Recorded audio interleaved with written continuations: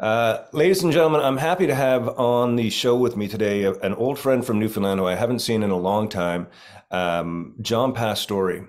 Now, when I met John, I think we all called you Johnny back then. Does anybody call you Johnny anymore? Not really. No, it's funny, but I mean, every once in a while, but not not like not like back then.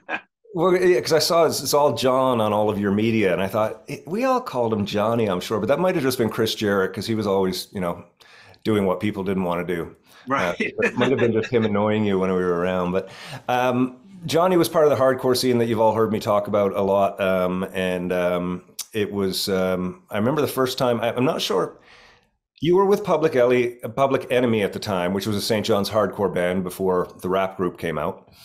And um, I was starting a band. I had something on the go with Clark and Lou, and we were working a lot at the French Society. And when I mean working, I mean he had the keys for the French Society where his mom worked, and we used to go in at night and jam. Um, but I seem to remember a period of time where me and you were kind of hanging out a little bit. And I don't remember if it was through skateboards or if we were jamming together, but I remember being at your house several times and you had all of these amazing hardcore posters that I think you were getting from somebody you knew in Montreal. Okay. Does that, ring any bells? It does, but only vaguely. But okay. I mean, it sounds right. I feel like we practiced once in my basement or a couple of times. It might have been something like that. And I think it was with you, me, and Clark, and then I guess it would be Llewellyn drumming. It was either Llewellyn. It would have been yeah. It was before Rod Wills was around, so I think it would have been Definitely Llewellyn. Before Rod, yeah. And yeah. I do remember hanging out at the French Francophone Society. Yeah. But I can't remember practicing, or that was sort of off Duckworth somewhere, right up the hill a little bit. A little block up the way, yeah. Yeah, so I remember hanging out there, and I, am sure I must have practiced there. Yeah, I'm but sure we all did. Yeah. Yeah, yeah, because that was a it was a kind of a big space to have available to us. Yes. Yeah. But the posters, where were you getting them all from back then? I can't remember. Like I wrote a lot of letters to people, so people okay. must have just mailed. It must have just been all through the mail, I guess. But at this point now, I can't remember. Well, everything was kind of mail back, mail order back then. You know, we, would always wait for an alternative tentacles record to come in, and no matter what it was, you'd buy it just for the order sleeve inside. You know. Yeah, yeah. Um, so, eh, so you were early on into the do the uh, sort of collecting of punk rock me- memorabilia. You know, as it was happening in the early '80s. Yeah, definitely, and certainly records. I mean, that I still have all the records that I bought. You know, when I was a teenager. You do? Wow, yeah. that's fantastic. Still have them all, which is crazy. I never sold anything, so you're so lucky. I, am on. I'm on to my third, if not fourth, collection. I, I, lost the first one when I left Newfoundland, and then I lost another one during a breakup, and then um, I, am rebuilding again now. But uh, yeah, I'm back buying all the original. Well, not original, the repressings of you know Minor Threat and all that stuff. Yeah, it's gotten pretty expensive to buy the originals of anything these days. That's for sure. Oh, I'm sure. And you've got all that stuff, eh? Everything, everything that I bought when I was in high school, and you know, as soon as I left, I still have it all. So originals of everything. Oh man, that's the retirement plan. so okay, so we we have a little bridge to gap. We're at your house. We're jamming. I'm in awe over these punk rock posters that you've got with SNFU and the Asexuals and DOA and uh, and all of these other things. Um, and then our paths split. You went to Montreal, I went to Toronto, and from Toronto I went on tour. In Montreal, you went to wherever you are now, which I believe is New York City. Is that yes. correct? Well, and, yeah, I went to England for a year first, and then to New York. Okay, and now you um, tell me about Out- Outer Battery Records. Is this your brainchild and your business? It's it is, but it's me and Dave Sweetapple. Okay, so Dave is in with you on this. Yeah, exactly. So it's Dave and I.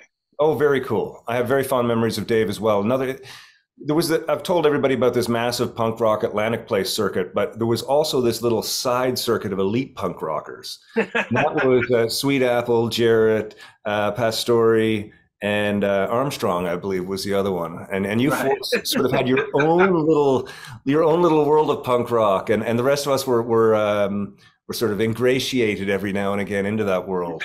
Uh, so it's you and Sweetapple doing this. That's very yeah. cool. And we were going to call it Battery Records, but that already existed because mm-hmm. Dave and I both grew up in the Battery, but Dave grew up in the Outer Battery, so that's where the name came from. Okay. Uh, it's a fantastic name. Um, now, I thought you grew up up from the uh, what was that big bar? You know where Elizabeth Avenue comes from an comes to an end, the Stanley Steamer or whatever it was. Oh yeah, well that was only that was only like probably when I would have met you. I was there. Yeah. But we moved to the Battery when I was four, and we left when I was fifteen. Okay, so I didn't meet you at the Battery House. I met or, you. Yeah, or sixteen maybe even. Like so, only for a year or two. Um, when my parents got divorced, my father moved to Barnes Road, so that was the other either mm-hmm. Barnes Road or for my last two years of high school would have been Barnes Road or Tunis Court. That's the that's the one kind of below Elizabeth Avenue. Right. But it's weird how many people I know from Newfoundland know me from there, even though it was only two years of my life, if that makes sense. Well, that so was probably a very social time, right? Because yeah, that was when I came to your house, and it seemed like your house was on a regular rotation of places to drop into, you know? Yeah, and it was the last two years of high school, you know, so that's when you're just hanging out all the time. Exactly. Yeah, that makes sense. Uh, so you were actually a downtowner. Oh, hundred percent. Yeah. I always thought you were sort of a midtown, uh, midtown, uh, middle class. Uh, you know, sort of. Uh, oh, yeah. No, uh, we moved to bat- the Battery in 1971, and then my father bought the house on Barnes Road in 1980. So, for the most part, I was split between the Battery and Barnes Road. And then, even for those two years that I was at on Tunis Court, I was going back and forth between the Battery and Tunis Court. So half of it was still uh, not the Battery, sorry, Barnes Road. Barnes Road, yeah. Yeah. So out of my life in Newfoundland, it was 95% either the Battery or Barnes Road. Wow. So growing up in the Battery, you know, I, I grew up in town, as you know, but I grew up on the, the the northern end of town. My backyard went to the tree line that there was trees right out to the airport. Um, and I know that I spent all my time in the woods as a kid, you know, uh, and in the winters and stuff, just having a ball in the woods. What was it like growing up in the Battery, where you're right hanging off the cliff on the water almost? I mean, just staring at the ocean. My my bedroom window was was like right into the like where the big salt, um, you know, that huge yeah. pile. Of, yeah, that's what I would look out at. Um, yeah, it was fun. I mean, it you know, it's I say that I could throw a rock from my window and it would land in the ocean, but it would probably take two throws. You know, if I picked it up, then I could that one would make it in the ocean. So I mean, I, I smelled salt my yeah. whole life. You know, it, it, so yeah, it was fun. Like, um, but it, it like I had a paper route when I was younger up Signal Hill, and that was fun but brutal. like, yeah. winter time trying to fight my way up the even on the sidewalk and then once you got up where the hotel was those houses were just eh, there was no roads like i don't think you could even drive into them so i'd be taking these snowy paths delivering newspapers and stuff wow that's amazing i um i didn't really discover downtown until i was 13 or 14 when i kind of met the sort of scene down there and uh, started skateboarding and playing punk rock um, but I think it'd be fascinating to grow up that close to the harbor as a child. Yeah, it, it was it was fun, like because it, you know it, it obviously St. John's isn't a huge city, but it felt like urban living because mm-hmm. you know basically Water Street ended at the base of my house where that those old paint factories and stuff were. So mm-hmm. I, I felt I felt like I was in a city, you know, yeah. like it, it felt like inner city living, even though it was well, you know, was pretty small. You you were in the heart of the city, you know. Yeah, definitely. And the best the best seat in the house for New Year's Eve fireworks too. Oh, I mean, the view was unbelievable. Like, I still can't believe that that like my bedroom was on the second floor. I faced out over the harbor, and we were only the like third house in on the battery. Yeah. So, uh, well, is that the Battery Cafe? I think that might be what it's called now. That that used to be the corner store there, and we were like across the street in two houses. So it was the whole harbor laid out in front of me. Like it's just a million dollar view. I actually did a video right from across your house this summer when I was home because I was waiting to do an interview at the Battery Cafe, and I walked in a couple houses. Oh, okay, walk yeah. around with my camera. yeah, yeah, so, so they, I know exactly what you're talking about they've made it when we bought it it was a single family big boxy victorian from the 1870s with a huge yard and then they built two look-alike houses on it maybe in the 90s so now if you look at it there's it's a row of three houses but the mm-hmm. only one that was there was the center one wow And yeah, it was changed a lot. Yeah. Oh yeah. No, I mean the battery was artsy but run down when I was a kid. Like and now there's, you know, there's money and there's fancy yeah. houses and stuff out there. Well, St. John's was, I mean, downtown St. John's was artsy and run down. Oh, definitely, yeah. You know, and that's it, it gave the artists a cheap place to live, and because we were all so tight, I think that's that's a big part of why the community there was so thriving. You know, especially you know, you remember the years when we were growing up. We had all the punk rockers, and then we had all the theater kids, and then we were doing stuff with the adult crowd, the Codco folks at the time, and right the art scene was so good. I was asking Andrew Younghusband about it recently when I spoke to him, and I said, you know, so what do you think happened to downtown? And he just said the artists got driven out because you can't afford to live there anymore. Right. Yeah. No. So that community is dispersed, and it's not as tight and vibrant as it used to be. You know, it's um, yeah, yeah. there's a need for it. Sadly, that's happening everywhere. Like all of the sort of cool cities. You know, when you moved to Toronto or I moved to Montreal, it was easy to live right in the center because the people with money didn't want to live there. So, and I wish they'd all sort of stayed out in the suburbs and you know kept it to themselves. And but now the most expensive places are where we lived easily. You know, you I could have found any apartment I wanted in the center of Montreal anytime I wanted. Like, yeah.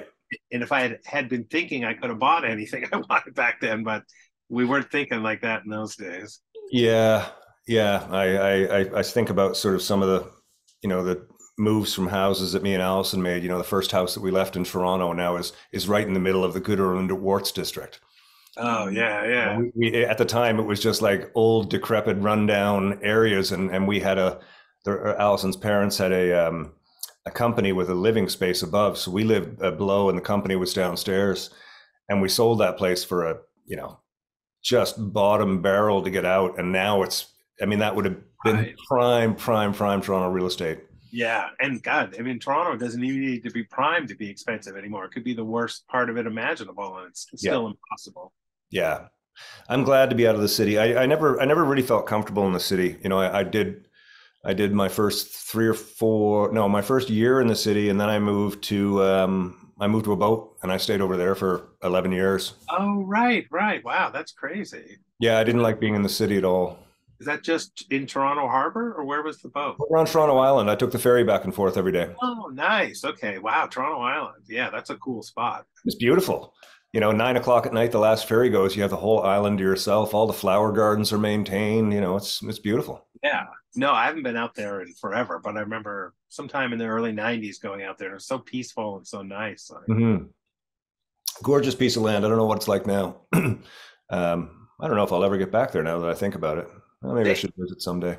They have some kinds of protections, right, to keep them from that getting overdeveloped out there, or they did for a long time. Um, you know, there's always been there's always been political debates happening over there. You know, when I was living over there, the Wards Islands residents were still there on the east end of the island, and they were kind of living illegally, but they had purchased houses at some point, so they kind of owned them, and then they were on leases from the government, and some were running out, and they were trying to get extensions. Um, and then the east end of the island was completely vacant, and then there was the marina in the center. but I know that you know they've been talking about developing it for years. I mean, at one point in time, the history of the island was that it was where all the brothels and bars were. Oh, and really? It, uh, and it was attached. It had a walk over bridge, and it was all hotels, brothels, and bars, like back in the day, back in the twenties and thirties. I never knew that. That's crazy. Yeah, it was a big developed. It was like a big strip, and um, it was the big party zone for all the illegal activities. And you know, eventually that all got shut down and, and plowed down, and then uh, you know the few remaining people on wards managed to fight to stay there, and uh, so they've still got claims against it there, but it's just a matter of time till you know something comes and wants it, and they've got enough money and they take it. I'm sure. Yeah, that's too bad, but yeah, that's you know maybe it won't happen. Maybe right.